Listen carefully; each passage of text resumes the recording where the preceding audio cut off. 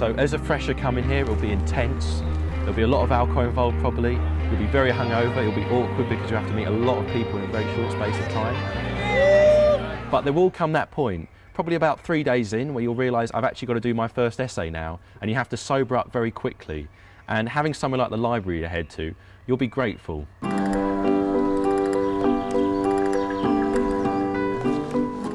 Going to the college library, swipe your card and head through the doors, and most people have their favourite study space.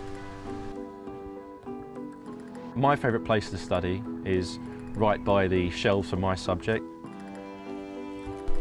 Going to the library, it adds a, a friendly competitive element. So you've got people around you who are probably doing different subjects, but they're all studying at a high level. If there's that moment where your mind's wandering, you sort of, all it takes is a glance to see someone else working and it sort of gets you back in the zone. I feel that my towers of books, they're comforting and they give me a safe haven. That's my space for study, that's my work.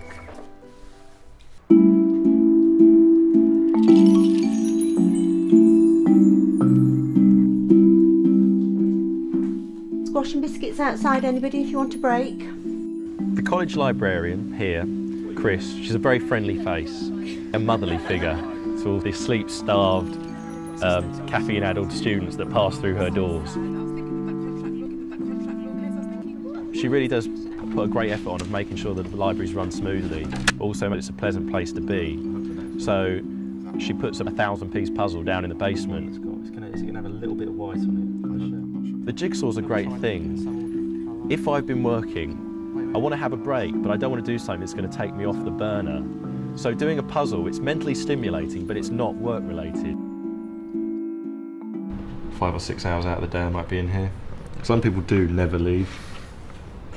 Apparently in Caius they have showers in the library. That's a rumour I've heard. Everyone's got a different rumour about what every library has. Like, oh, I've heard they, they spoon feed you while you study and they change your clothes. All libraries should be run like Las Vegas casinos, just round the clock. Table service. Yep, table service. If you need to leave your seat, they That's get where a bodyguard the- in. This library is great, but it's a jack of all trades, so it serves every subject. If you go down to your faculty, it's just for yours. You're much more likely to find what you need there. On my course, there are eight people. It's often the case that we're all doing the same book in the same week. They don't have eight copies here, so getting down to the faculty where they have a few more is always very handy.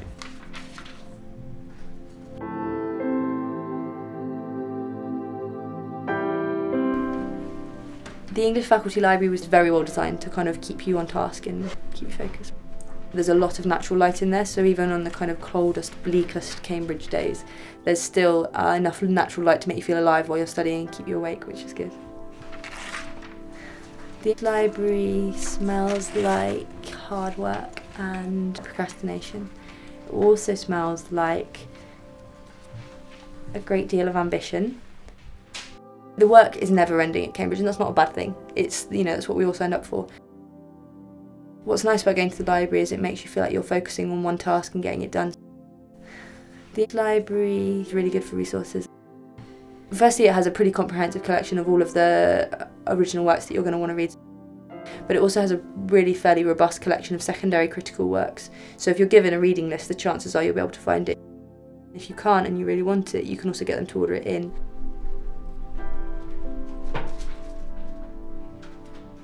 The Newton catalogue works so seamlessly. It's really easy to find the stuff, and once you've got the hang of where it is on the floor, you can almost inevitably find whatever it is that you're looking for. It's got a long borrowing period, so you can borrow books without worry that they're going to sort of run out midway through. And even if they did, you could renew them online.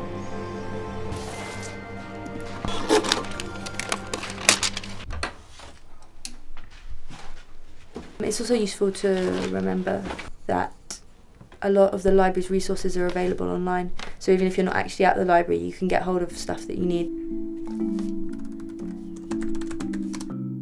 Oxford English Dictionary, that's always a useful one. But there's a lot of other stuff as well, like actual text you can get hold of online um, from reputable literary sources, in it, and they have all sorts depending on which paper you're studying. You can also get facsimiles, which are really useful.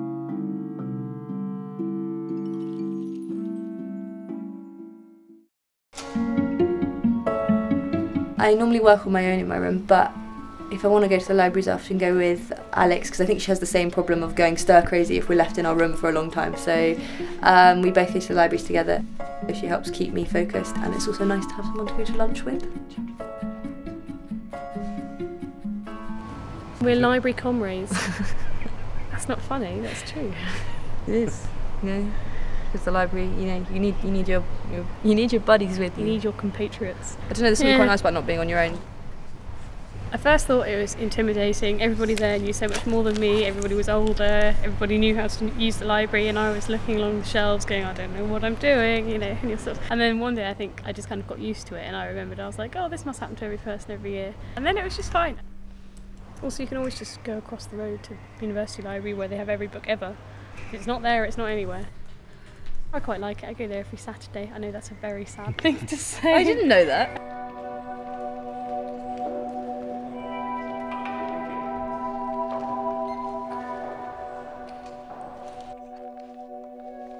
It's lovely to have all of your friends in and around the library, but it can be very distracting. Sometimes you're not getting on with work as much as you might like to be. So when you need to go somewhere else, get away from people, uh, I think my favourite place to go is the university library. It, it is massive. And if you want to, you can be away from anybody. Yeah. It turns out that your standard library card means you're a member of the university library. You just have to, as a student, you just have to turn up with your card and go in.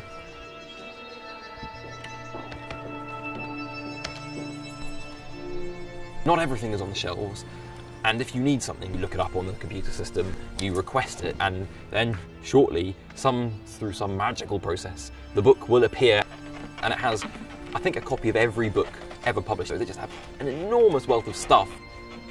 And if I want to find out a review of a product that I want to buy on eBay from four years ago, I can go and get a computer magazine out. a bizarre place you can get magazines and for me as an engineer the exciting thing if i want to check up on my lecturers just to be sure that they're not lying to me i could go and look at a first edition of newton's works and see what he wrote down.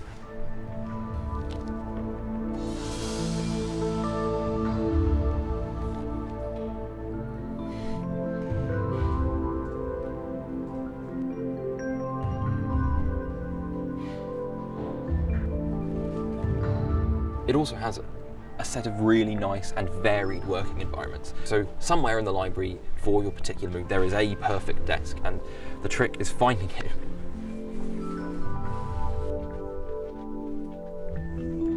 I find myself regularly gravitating towards one particular desk. It has a light above it and it isn't close to a clock. My perfect desk is out of the way, really, so I can, I can properly focus. Probably the best thing is that you can see King's College Chapel. When you leave, it's sort of it's, it's a very satisfying feeling because the library makes you more efficient, and you come out just going, yeah. You think I've done that. It was hard, but it's finished, and you, you can go back to see people in a more relaxed environment and have a bit of fun.